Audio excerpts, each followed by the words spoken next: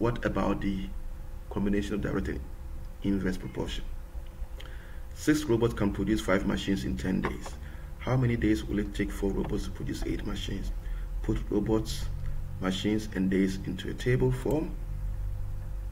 So four is still robots under four under robots. Eight is machines under eight. So days is what we don't know. So we're going to see days and machines relationship and days and robots relationship. More robots spend on a job means fewer days needed to complete a given task. So that's inverse. So we know days going up, robots must go down. Let's look at days and machines. More days spent on a job means more machines will be produced. If you spend more days producing, you will produce more machines. So that is direct. So days going up, machine must go up. Start the equation with the days because that's where the x is.